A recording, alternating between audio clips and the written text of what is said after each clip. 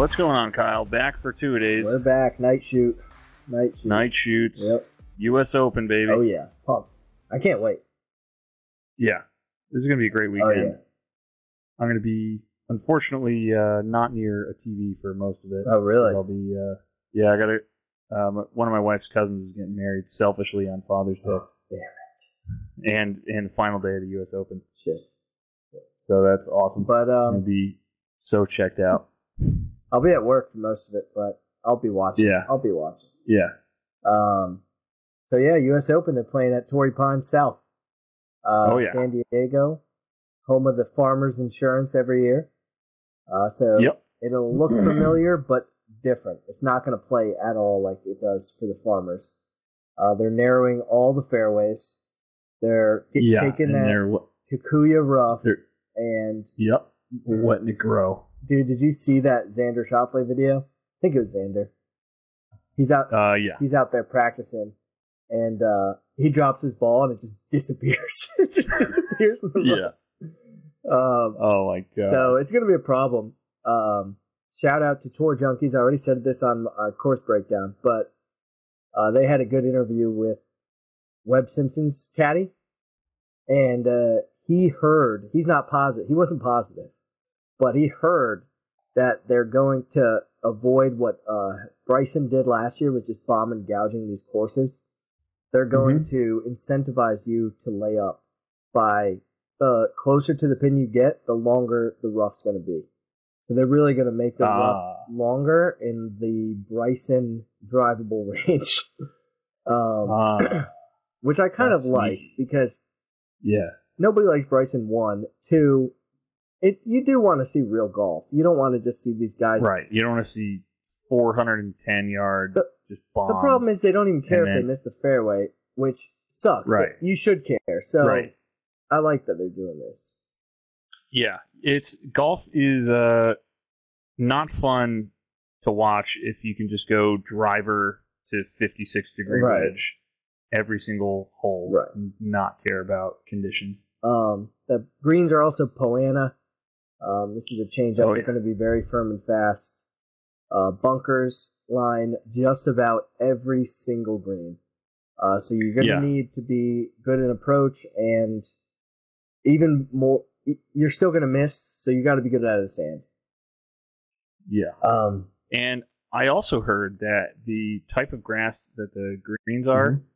it like buds and grows quickly, so it grows throughout the day, oh wow, which is yeah, and it like the the grass blades like expand during Shit. the day in, in direct sun, so that's going to be sketchy. it is. So putting is going to be huge this week. Yeah. All right, let's get into it. Uh, we'll start at 10k range, DraftKings, like we always do.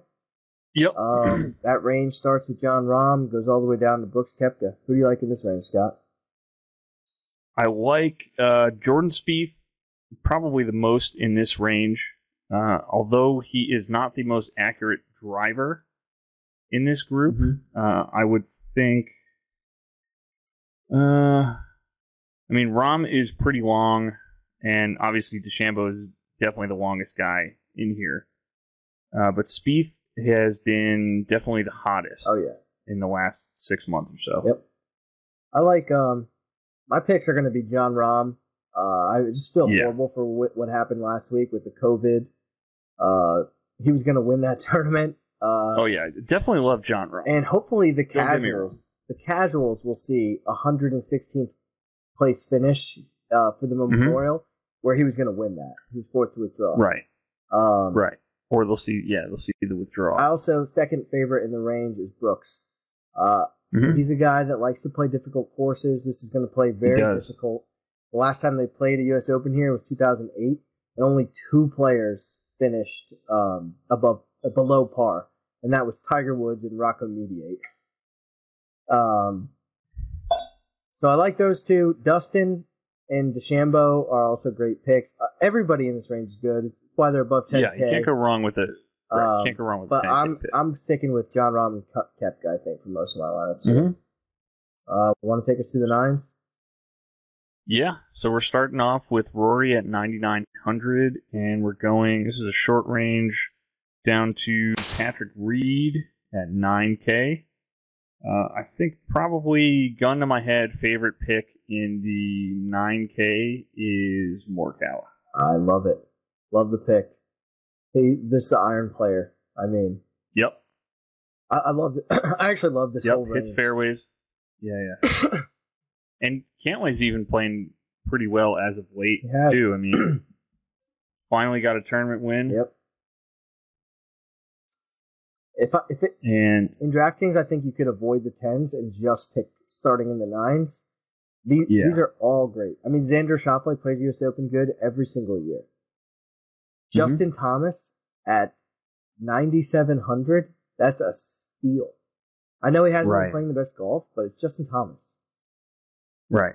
Rory McIlroy, one of the longest players on tour, and most accurate off the driver. Yeah. You know? Hits s- huge driving accuracy. Yeah. I think this week driving accuracy and putting, strokes gained putting are going to be the two the two keys to victory here. Uh, also sure. scrambling. Scrambling Yeah. Um, that's why another reason. So I do like Patrick Reed as well. I know he's not the most Mhm. accurate, but he's like Brooks, where he just likes a tough course. He likes that grind. Um, so if you're going game theory and strategy, pairing someone like a Brooks and a Reed, hoping that it just Mhm. plays as difficult as possible, is a great, Right. uh, great strategy. Which it sounds like it's going to be hard as hell this week. It does.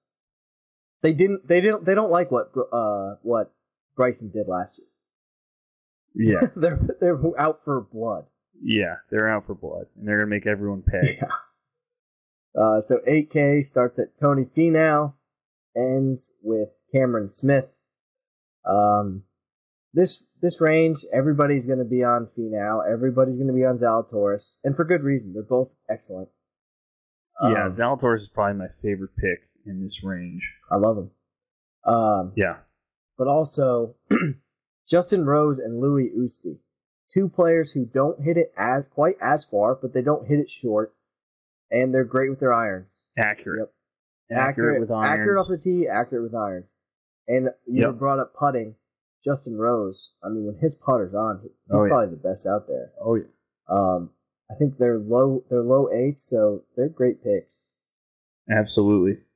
I don't hear anyone really talking about your boy Corey Conners this week, or Scotty I Scheffler. was just I was just looking at Corey Conners right now. It's like Nobody's talking about it. he's yeah he's beef. He, he is. I'm throwing him in there. Are you? Yeah, and Yeah. Scotty Scheffler too. I mean, he's great off the tee. Uh, been playing really well. I, I just don't hear the buzz for him like I have been recently. Um, Yeah, Hideki, nobody's talking about. that is true. Um, and fuck Webb Simpson. You know why?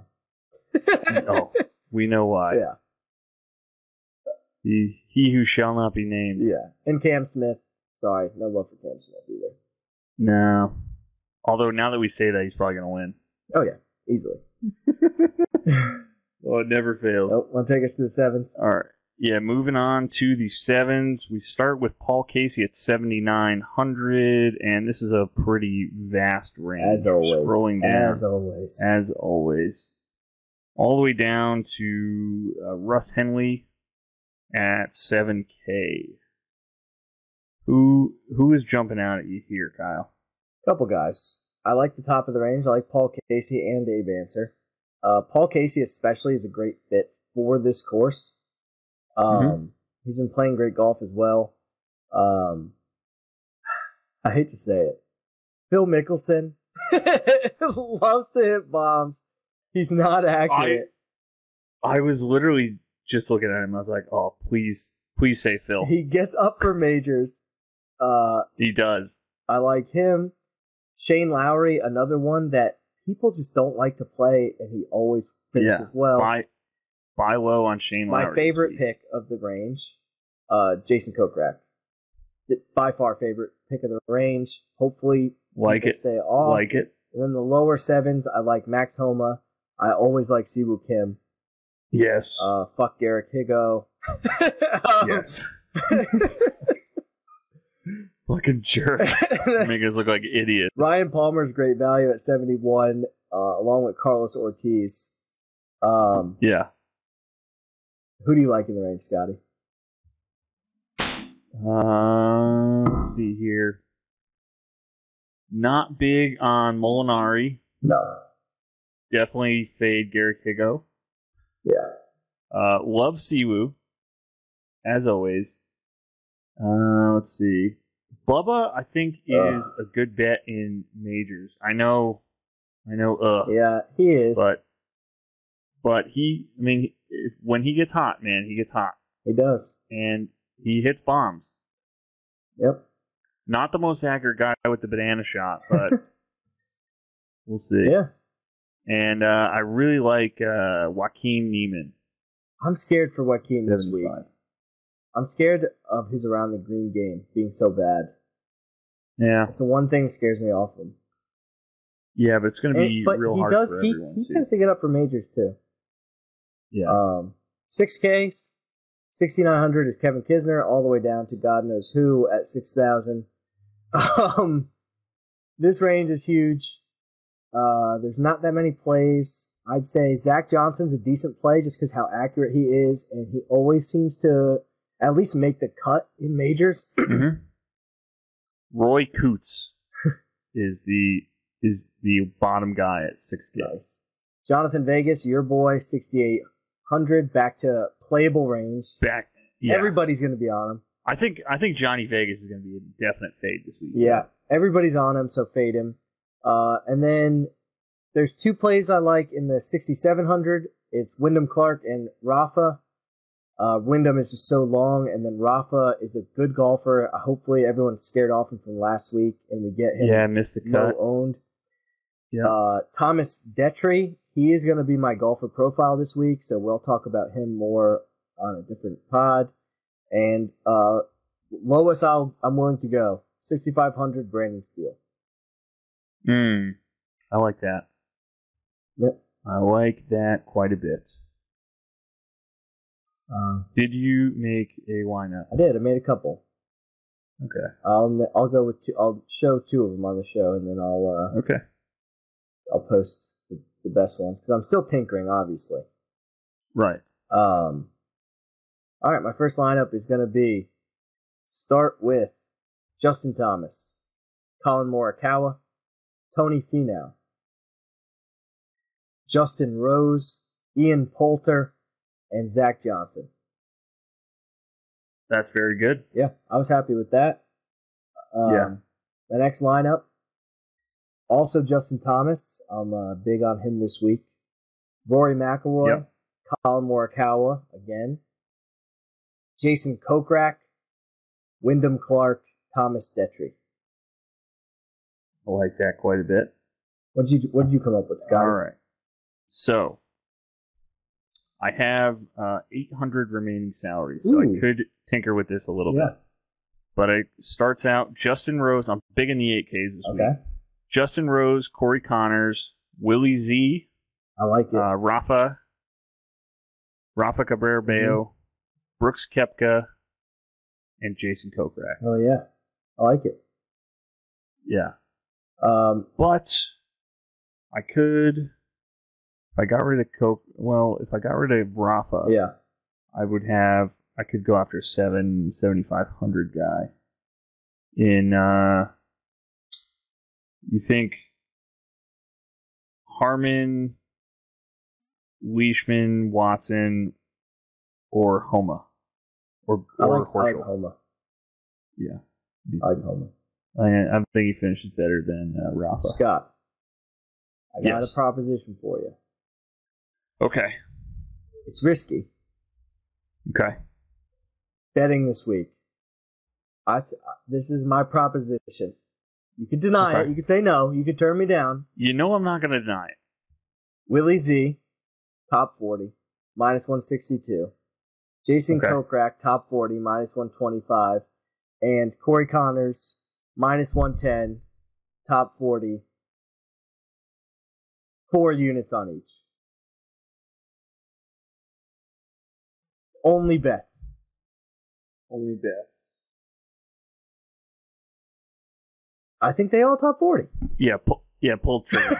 But let's do Absolutely. it. Yeah, Drop the hammer. absolutely. That's the best this Absolutely. week, boys. That's the best. Yep. All right, and then we'll do a uh, we'll do a separate uh, Thrive fantasy breakdown Yep. For all you Thrive fanatics out there, I'm telling you, it's the new thing. yeah, we're we were on Emacs before everyone else. Now we're on Thrive, baby. Why wouldn't Why wouldn't we be on Thrive before everyone else? We're fucking and sign up before uh, you watch our next episode. So get ready now. Um, do you have a promo code for him, Scott? Uh, we do. It's uh, it's uh, thrivefantasy.com, and the promo code is NeverHedge. There you go. Sign up with the promo and code you get a you get a twenty five dollar bonus uh, when you sign up. I think all you have to do is deposit ten bucks, and you get twenty five extra There you to go. play with. That's a pretty good deal. Sign up, and we'll have that breakdown for you guys. Yeah. All right. We'll leave it at that, bud. All right. Good one. Like and subscribe.